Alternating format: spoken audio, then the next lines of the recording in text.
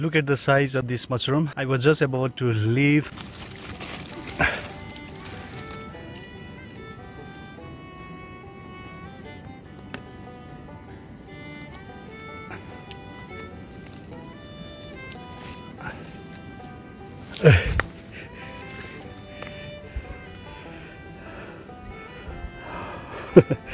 wow